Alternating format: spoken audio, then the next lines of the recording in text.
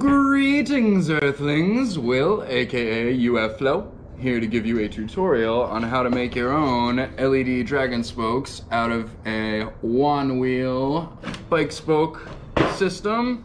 What you see right here comes in two parts. They just kind of fit together right like that.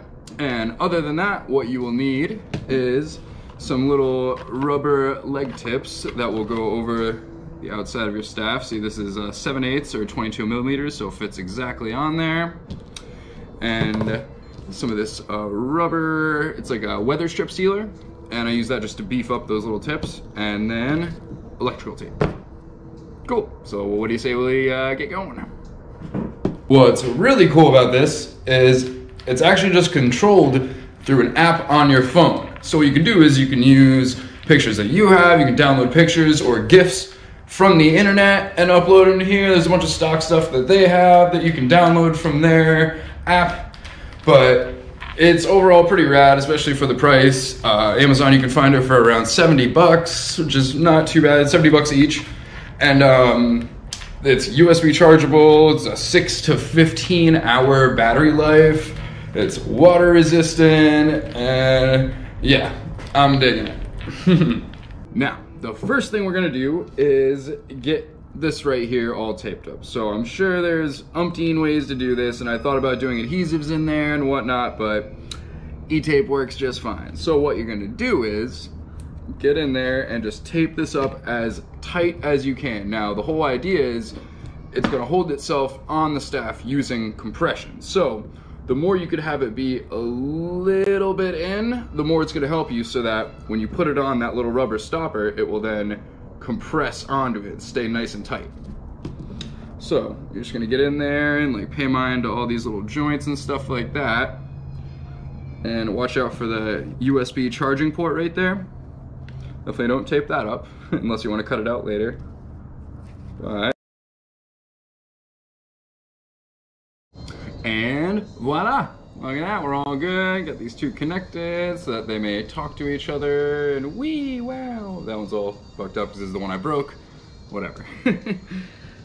so now what we're ready to do is get on to make our rubber stopper. So obviously, just the stopper on its own, way too small to fit in there and have it actually compress around. So what we're gonna do is get it all beefed up. So First of all, what I did was I used one of these little guys right here, just a drill bit that kind of, it's the exact size of that right there. So what I did is I cut that hole so that the staff may freely go in and we're then able to get our hub into the end. Cool. First step is using our weather stripping just of kind of get that measured out first. Bang, bang. Cut it there. And then peel off the self-adhesive. And this is just to get it beefed up a little bit. You can just use tape and tape the crap out of it, but I figured this might be a little bit lighter and easier. So tried to set it up right there on the edge wrap around, and perfect. Now from here, you just start taping the crap out of it. And what you're gonna wanna do is keep it like fairly loose because if you start taping it too tight, it'll be really hard for you to get this on and off of the end of your staff.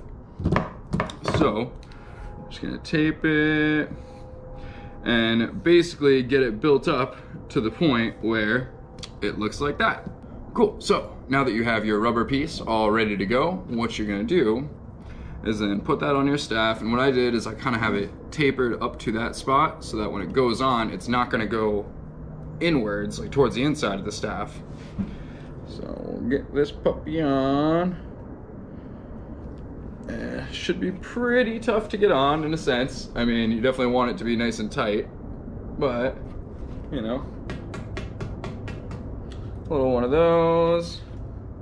And ideally you want it to come all the way up to the end of your staff. So you see right there, it's just a little bit shy. I'm gonna keep it going. And voila, right up to the end there.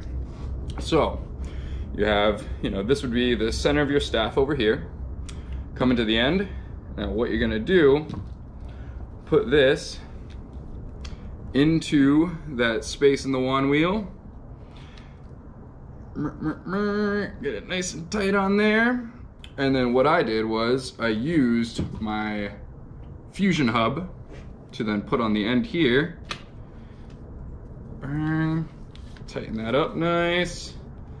So that now this will not go anywhere because it's solid. Oh yeah. And obviously repeat for the other side. And yeah, soon enough you'll have your very own LED dragon staff. Woo! Now the next step is something that I haven't quite finished myself, but I wanted to put it out there and see what other people could come up with because we're gonna need to put our minds together on this one if we want a not $600 Dragon LED hub setup. so, what I did was I just put some of that weather stripping on the edge here and taped that around just for a little bit of shock absorption. Not good enough. So what I was thinking either is putting a ring around the outside of all these and connecting them to keep it more solid or even just connecting something to here on the hub system to go out and like go just past there. I don't know. But regardless, you are definitely going to want to really spend some time and make sure this thing is structurally sound because it's not a flow prop, it's not meant to be dropped, and I uh, paid the price for that. I want to see what everyone comes up with on how to make these things work. And I'm in talks with the company, so hopefully we'll have an actual Flow Arts version of this sometime soon. But for now, let's see what we can come up with. So, follow, like, share. If you enjoyed this tutorial, keep coming back for more. This is my first non-movement based tutorial, but if you like it, I'll keep them coming. So, UFLO will signing out.